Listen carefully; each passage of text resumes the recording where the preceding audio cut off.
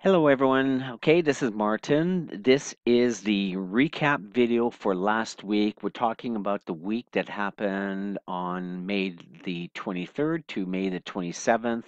And uh, this is the, the red line here depicts the end of the uh, trading, the previous trading week on the Friday here. So you see right away, uh, this is the first uh, candle um, kind of up down candle Sunday Monday trading and then after that went down uh, and um, basically I had mentioned that um, uh, to, to wait for price to come up to this red sell area. It, it never did. However, there are some really good trading opportunities here. You could have made a lot of pips, and this is uh, this is the first thing I want to show you. So, how when do you actually get into a trade um, it, when you're looking at the daily chart?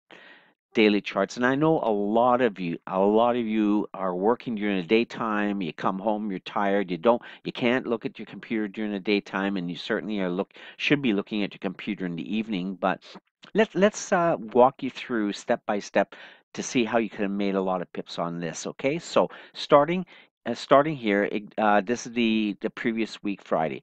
This is the first um, trading day right here, Sunday, Monday, and you can see uh, it's a bit of a bullish candle, right? However, um, in the evening, Monday evening, after coming home from work, um, it didn't matter. This is what, at 5 o'clock, this is what you would have seen with this candle right here, okay? So at 5 o'clock, you would have seen this, and uh, price might have started up here and started to slowly come back down, right? This is the uh, start right here with this black bearish candle. This is the start on uh, Monday evening, and it ends here um, kind of uh, the next day right here. But this is what, what you look at. You see prices come down, prices gone up. You have to look at this as a valley, okay? So the first thing I would have done is drawn a trend line right right there then i see that this has gone up and i'm going to anticipate remember i keep saying that anticipate where price is going to go so prices in a downtrend, prices below the 50 here.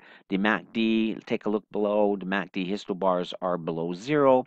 I'm even though that's all I see Monday evening, this candle right here, I'm expecting price to go down lower, and so I am going to place a pending sell stop order right about there, okay? Just below the um, previous uh, candle right here, okay? Just below there, five, six, six pips below that. If if I and if you would have done that, you would have made at least down to here 41 pips. Okay, you see down to the bottom of this black um, uh, bearish candle. Okay, and you can see then on the Wednesday and Thursday, these two days uh, it, it retraced back up. So here's another pullback, okay? Let me just uh, maybe zoom in a bit here. Okay, so here's the pullback. And you uh, you would have to draw, again, remember I see, I, I, I tell you to keep drawing trend lines. Okay, so here's a pullback, again expecting price to go to the downside. Why? Well, take a look. Price is still below the 8 moving average. Price is below the 21 right here. Price is definitely below the 50. And um, we're going to place a pending sell stop order just below the low of that candle right here. Okay, below this previous white candle right about there. Okay, take a look. And that's good for another 32 pips or so. So here's one trade right here. Here's the next trade. This this this would have uh, automatically um, uh, triggered in Thursday evening because remember you're seeing this white candle Thursday evening after you come home from work. Okay, drawing a trend line. You're going to place a uh, you place a pending sell stop order Thursday evening below the low of this candle. Even though they're daily, you can do that, guys. Okay, so anticipating price to come down. Your stop loss would have been above the previous swing high, like right here okay, above the 8. So your stop loss would have been there, okay? Or, I mean, you could have placed a stop loss higher above the 21 uh, because these are both swing trades, okay? But uh, wherever you place your stop loss here, this would have been adequate right here above this swing high here. And again, you would have made this trade, you would have made this trade, add them both up, good for at least 73 pips. Okay, so that is the um, Euro USD. Now we get to the British Pound USD. This pair was not a good one to trade. First of all, last week I did say uh, my bias, uh, like uh, this this pair um, was going to go down. Uh, we uh, had a huge bearish uh, engulfing candle. You can see engulfs the previous week right here. Um, if you would have gotten in right there at the end of that candle, uh, and uh, you see this next candle did did go down. However, went up again. The buyers did push it up. You you would have made about um, let me take a look about 23 pips. Okay, better than nothing. And if you would have closed your trade on the end of this day here, uh, Sunday, Monday, um, or let's say on Monday evening, uh, you would have made 23 pips. If you would held on to the trade, the next day went all the way back up, you would have um, you would have lost a lot of pips. Okay, depending on where your stop loss is. So um, that's it for there. And um, let me take a look here. The the other thing I want to go though go over is something else that's entirely um, entirely you have to watch for. Even though I said watch for price to come back down, and I was expecting price to come down uh, a lot further, it didn't. However, take a look at this price. This is the previous Friday here, big huge engulfing candle, right?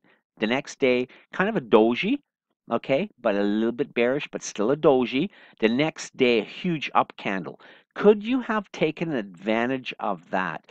First of all, understand that price went down, and with this candle, did not close below the 21. So, kind of expecting or anticipating, let's say, a bounce back off the support, okay? especially when you see something like this. So you always have to expect that price is now going to uh, reverse. Then again, drawing your trend line. You can see that right here, drawing a trend line and placing a pending buy stop order right above the high of this inside. You see this? This is kind of an inside bar here or doji. Placing a buy stop just above here, above the trend line, would have given you at least uh, 67 pips on that first day. If you would have held on to it, another um, another let, let me just take a look another 64 pips for a total really honestly of um, uh, 70 anywhere from 70 to 130 pips this would have been the big winner of last week Again, this is isn't this what's called a swing buy trade? So price is going up. We're looking for a reversal, a pullback, looking for even if you would the um, according to the course I mentioned about the traditional setup, which is looking for one bullish candle to the upside. There it is, right there.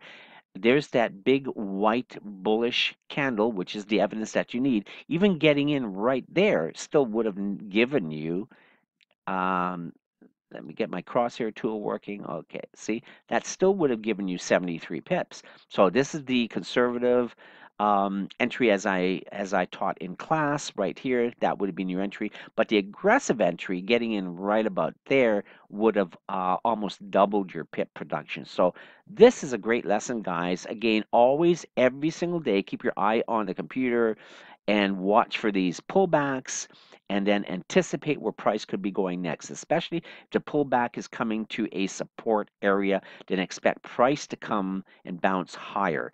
In that case, you you would be placing a pending buy stop order, okay?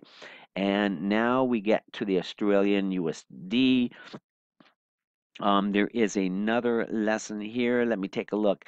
It's about, okay, it's about, see, last week here we had one, two, three, four, five, six days just going sideways. There really, you know, there was not much of an opportunity to make any kind of um, money um, last week. It was just going up and down. And uh, although, although see here, price did come up and touched my uh, sell zone, which is what I talked about in last week's video. Um, getting in right here, you would still be at the same spot. um, price just went up and then down again. So really, no no real good opportunity there. However, I just want to point out something again. Here with this candle and this candle, we have two bullish candles. This is a reversal right up to at least the uh, the the uh, well, it's up to the eight moving average and very close to the 200. So I'm kind of expecting price to go down from here, but my the lesson is why did price go sideways for all these days well all we have to look at is long-term support and i'm now going to switch to the uh, there we go. Switch to the leod charts. I'm going to zoom there again. Okay. And actually I'm now going to switch to a line chart. Okay take a look. See this peak here? Here's another peak. Here's a valley. Okay and if you go across you'll get many peaks and valleys. Bring that across and guess what guys? Isn't isn't that great eh? Prices come right down to this long-term support area. The next by the way the next support area is right about there okay? See over here here's a here's a valley okay? Here's a valley right here. Here's a peak. You can see that a peak a peak. So we got peaks and valleys numerous peaks and valleys. Let's uh, so you can do that. You switch uh, you switch your uh, chart to a line chart using the line chart uh, tool above your chart your line tool above your chart and uh, let's go back to the candlestick and zoom okay so you can see this, I had drawn this from the previous uh, long term right here. And uh, you can see prices come down to the support, up, down, up, down. See, so um, this is a good, uh, uh this is another good way to explain why prices went sideways, but I do expect price to eventually keep going down on this one. And um, let's see if there are any anything else of interest for last week. Okay, for the other major pairs, there were really no opportunities uh, to take any trades. Um, there was no pips to be made, but I do want to now focus on the last pair I want to talk about, which is the U.S. Swiss franc. Uh, you can see here uh, with the uh, this is the daily chart. You can see on the Sunday Monday open we had a bearish candle right here, and I was um, last week's video I did mention wait for price to come down to this green zone, which would have given you the best entry to the upside. That never happened happen. However, the next day here on the uh, Tuesday, you can see we had a one bullish uh, engulfing candle. Um, even myself, I would have gotten in at the open there or just above here. Okay, actually, that would have been the best thing, just above the high of this white bullish candle. But if you would have gotten in there, your stop loss should have been at least minimum below the eight moving average, right about there. Okay. Um, I would not have put it below here just for the fact that we're still too far away from the uh, 8 moving average, okay? But your stop loss should have been down below the yellow line right here. And um, the next two days, as you know, went down, down here. So we had two uh, bearish days. But then finally on the Friday, we had a huge up day. This is another huge bullish candle. The great thing about this, it actually made a new high uh, past the previous swing high back here. Okay, so uh, leading me to believe that price is going to go higher from here on. Um, but if you would have gotten in as uh, perhaps, um, and I actually did get in uh, on this candle. I actually, I am in a trade right now uh, uh, on this candle right here. Uh, but if you would have gotten in after this bullish engulfing candle right there, right now you would be in profit still if you would have held on to to this trade, you would have been in profit for at least 16 pips so far. So, um, and I believe price is going to keep going to the to the upside. So that's all I see for this week. Um, hopefully you enjoyed these uh, tips and uh, you keep on learning. Uh, trading forex is a continuous learning pr process, and uh, hopefully everything else is going well with you. Uh, this is a shorter video for a change. So take care, guys. Send me any emails that you want, and I'll be more than happy to help you. Take care. Bye for now.